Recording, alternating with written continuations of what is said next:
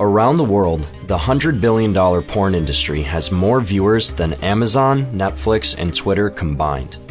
American estimates say 12% of all internet websites are pornographic. 70% of men aged 18 to 24 watch porn at least once a month. 93% of boys and 62% of girls in college saw porn during adolescence. The average age of first exposure is 11 years old and 1 in 10 kids under 10 years old has seen porn. I wanted to just have this complete, irrefutable leviathan of a, of a, of a dissertation, which is why I use that word, um, against it because, and literally, like, it, it is irrefutable. I mean, it's just all evidence. My extrapolation is when I get into the sort of like they're doing this because they want you weak, which I do believe, but I, I can't prove that necessarily. But everything else is completely objectively true our minds and our bodies have not evolved at the same speed at which our technology has evolved. And so you have situations where 12 year old boys, well, the average age of exposure is 11, so we'll just go with 11. 11 year old boys are using Instagram or they're using TikTok, and there's sort of this pipeline that no one talks about where they'll see, you know, this provocative material, and then, you know, what are they going to do? Google it? Obviously. Like, you know, we've all been there, and you're young, you're curious, and you Google it, and you find these like very hardcore websites, and it literally rewires your neurochemistry, especially if you're at a younger age to just totally addict you. Um, perhaps irreparably, depending on the age that you start and the intensity of the addiction that you develop. With children, not only does the porn industry target young minds, getting them hooked at a young age, but it targets young bodies to use as content as well.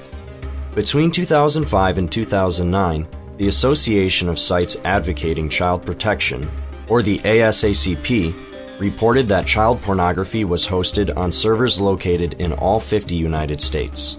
A year later in 2010, Pope Benedict at the time stated, There is a market in child pornography that seems in some way to be considered more and more normal by society. One aspect of child pornography often overlooked is its connection to human trafficking, which, according to Homeland Security, is the use of force, fraud, or coercion to obtain some type of labor or commercial sex act. With porn in general, its equality to prostitution is often overlooked. Both porn and prostitution always consist of sexual acts for money. That is the essence of the industry. So every single time porn produced by the industry is viewed, it is at the very least prostitution. In the US, if the child is under 18 years old, or if somebody is forced or coerced into the porn, this is sex trafficking. And it is impossible for the viewer to know if this is the case. Despite professional porn being either the crime of sex trafficking or prostitution, 36%, almost 4 out of every 10 Americans, believe it is morally acceptable. I'm not surprised that so many people think porn is morally acceptable. The producer of this show just handed me the stats here, It gave me the entire poll. I mean, birth control is at 90%, uh, divorce is at 77%, and so on and so forth the country has gone so far with its understanding of sexual morality that it just finds all kinds of perversions and deviancies completely acceptable. I think porn is so addictive now because number one, it's anonymous, so no one knows you're doing it. Number two is that it's free. You just have internet access, so it's super easy to get. And number three, it's an escape.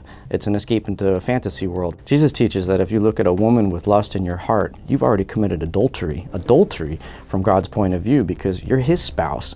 So if you just give yourself over to porn and all these fantasies and lust, you're committing those things in your heart. You're participating in whatever it is you're watching in your heart. So you're guilty of all those crimes. And really, ultimately, you're cheating on God. The online porn industry is predominantly run by the company MindGeek. Headquartered in Quebec, Canada, MindGeek owns dozens of porn companies, Pornhub and Brazzers, just to name a few. MindGeek, which generates well over 115 million visits per day, originates with a man named Fabian Thylmann. It's this young man called Fabian uh, who's like a tech nerd in Brussels, and he has the idea to get rich from giving the world free porn so free streaming porn. In the late 1990s, Thylmann created NATS, or Next Generation Affiliate Tracking Software.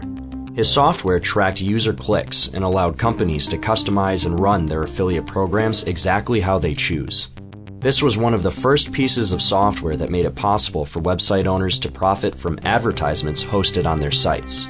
Porn companies picked up on this and started working with Thylmann so they could implement NATs for their websites. I relatively soon uh, started working with lots of different people and I got to know the industry quite well. The when you say the industry, are we talking the hosting industry or the other industry? Uh, the, the, the, in general, the porn industry. I decided to see if I can uh, buy some uh, well working assets uh, and see if I can optimize them and, and make more money with them. In 2005, YouTube was invented, allowing anybody to upload their own videos and content for free. Thylmann, who by that time already owned many subscription based porn companies, quickly caught on to YouTube's idea, and free porn took over the internet about two years later.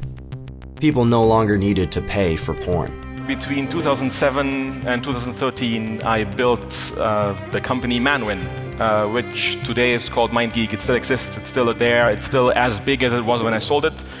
Uh, not much changed in it, but uh, yeah. And this company is pretty much the biggest player in porn online and offline today also. St. Paul says in 1 Timothy chapter 6 verse 10, he says, panton kakon estin filarguria which means the love of money is the root of all evil. Or you could translate, the love of money is the root of all kinds of evils, because it's in the plural. So it's not that it, the only sin is the love of money, but he's saying that the love of money is a huge sin that leads to all kinds of evils. Ultimately, St. Paul is echoing our Lord's own words. He said, You cannot love both God and mammon.